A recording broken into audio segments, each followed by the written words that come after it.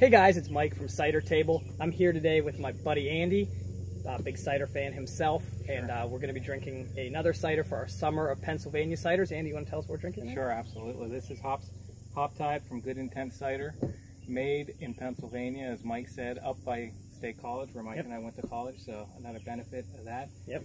And uh, gosh, it's delicious. It's not only my favorite uh, hop cider from Pennsylvania, but also overall. Yeah, it's a delicious cider. So you want to take a sip and tell us yeah, what you think? do it. What you got? Well, taste-wise, I get like a Riesling, Mm-hmm. um, very sweet. Mm-hmm.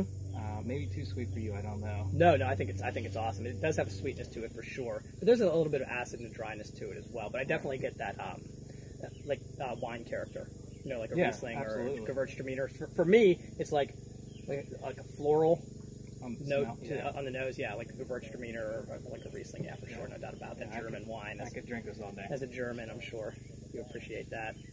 Yeah, but it, it's it's very delicious. And um, what's the alcohol on this one, Andy? I think that's something we both appreciate as well. Eight and a half. eight and a half percent. You can definitely taste it. It doesn't hide it at all. And like you said, it's like a wine. I mean, it's, it's very much like a wine, uh, much more than a cider. You know, most, a lot of ciders come in at like five and a half, six percent, something like that. But so- you do taste the alcohol. yeah, for sure. Yeah, I don't taste it that much. Yeah, really? Interesting. No. Well, that's why we all taste things differently. For It's, sure. it's definitely enjoyable We'll to drink uh, some more and find out. Exactly. So, anything else?